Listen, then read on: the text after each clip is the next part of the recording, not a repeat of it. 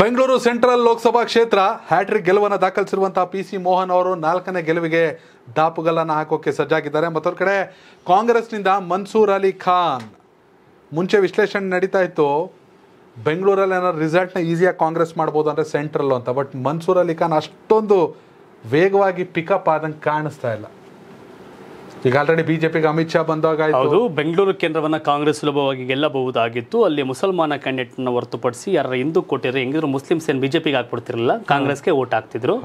ಆಗ ಮುಸಲ್ಮಾನ ಅಭ್ಯರ್ಥಿ ಬದಲು ಹಿಂದೂ ಕ್ಯಾಂಡಿಡೇಟ್ ಕ್ರಿಶ್ಚಿಯನ್ ಇದ್ದಾರೆ ಅವರು ಓಟ್ ಹಾಕಿರೋ ನೀಟಾಗಿ ಸೆಟ್ ಆಗಿರೋದು. ಕಳೆದ ವಿಧಾನಸಭೆ ಚುನಾವಣೆ ಟ್ವೆಂಟಿ ಟ್ವೆಂಟಿ ತ್ರೀ ವಿಧಾನಸಭೆ ಚುನಾವಣೆಯಲ್ಲಿ ಈ ಎಂಟು ಕ್ಷೇತ್ರ ಬರುತ್ತೆ ಬೆಂಗಳೂರು ಸೆಂಟ್ರಲ್ಗೆ ಆರು ಲಕ್ಷದ ಹದಿನೇಳು ಸಾವಿರ ಜನ ಕಾಂಗ್ರೆಸ್ ಕೋಟ್ ಹಾಕ್ತಿದ್ರು. ಬಿಜೆಪಿಗೆ ಐದು ಲಕ್ಷದ ನಲವತ್ತೈದು ಸಾವಿರ ಜನ ಹಾಕಿದ್ರು. ಅತಿ ಹೆಚ್ಚು ಮುಸಲ್ಮಾನರು ಅತಿ ಹೆಚ್ಚು ಕ್ರಿಶ್ಚಿಯನಿಯರ್ ಇರತಕ್ಕಂಥ ಕ್ಷೇತ್ರನ ಬೆಂಗಳೂರು ಸೆಂಟ್ರಲ್. ಹೌದು. ಸೊ ಹಾಗಾಗಿ ಈ ಕ್ಷೇತ್ರವನ್ನ ಕಾಂಗ್ರೆಸ್ ಗೆಲ್ಲಲೇಬಹುದಾದಂಥ ಕ್ಷೇತ್ರ ಆಗಿತ್ತು. ಆದರೆ ಮೊನ್ನೆ ಎಂ ಎಲ್ ಎ ಎಪ್ಪತ್ತೊಂದು ಸಾವಿರ ಲೀಡ್ ಆಗಿತ್ತು. ಹೌದು. ಕಂಪೇರ್ ಆಗಿ ನೋಡಿದ್ರೆ. ಸೊ ಆದರೆ ಇವರು ಕೈಯಾರೆ ಈ ಕ್ಷೇತ್ರವನ್ನ ಕಳೆದುಕೊಳ್ಳುವ ಲೆಕ್ಕಾಚಾರಕ್ಕೆ ಬಂದಂತೆ ಕಾಣ್ತಾ ಇದೆ. ಯಾರು ಕಾಂಗ್ರೆಸ್ಸಿಗರು? ಮನ್ಸೂರ್ ಅಲಿ ಖಾನ್ ವಿರುದ್ಧವಾಗಿ ಬಹುತೇಕ ಕಾಂಗ್ರೆಸ್ ಶಾಸಕರಿದ್ದಂಗಿದೆ.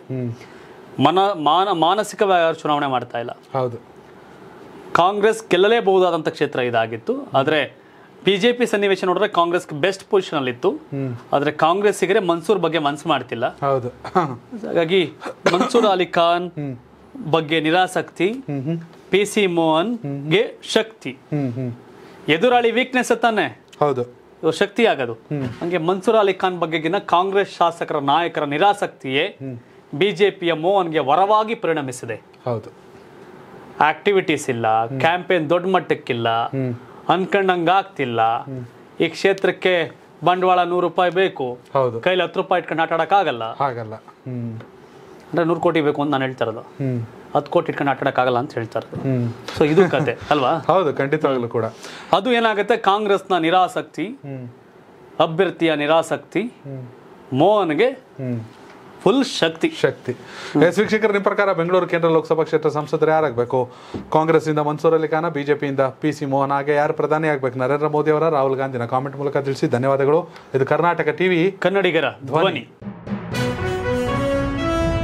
ಜನ ಪ್ರತಿದಿನ ಟೈಮ್ ಸರಿಯಾಗಿ ಊಟ ಮಾಡ್ತಾರೋ ಬಿಡ್ತಾರೋ? ಆದರೆ ಪೊಲಿಟಿಕಲ್ ಟ್ರೆಂಡ್ ಏನಿದೆ ಅಂತ ಪ್ರತಿದಿನ ಪ್ರತಿ ಕ್ಷಣ ಕಾಯ್ತಿರ್ತಾರೆ.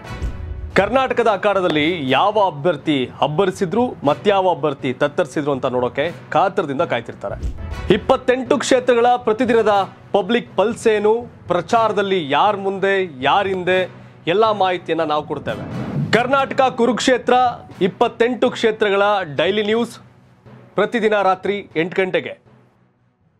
ಯೂಟ್ಯೂಬ್ನಲ್ಲಿ ಕರ್ನಾಟಕ ಟಿವಿ ಅಂತ ಸರ್ಚ್ ಮಾಡಿ, ನಂತರ ನಮ್ಮ ಕರ್ನಾಟಕ ಟಿವಿ ಸಬ್ಸ್ಕ್ರೈಬ್ ಮಾಡಿ, ಸಬ್ಸ್ಕ್ರೈಬ್ ಆದ್ಮೇಲೆ ನಿಮಗೆ ಹೋಮ್ ಪೇಜ್ ಬಂದರೆ ಕಮ್ಯುನಿಟಿ ಅನ್ನೋ ಆಪ್ಷನ್ ಸಿಗುತ್ತೆ.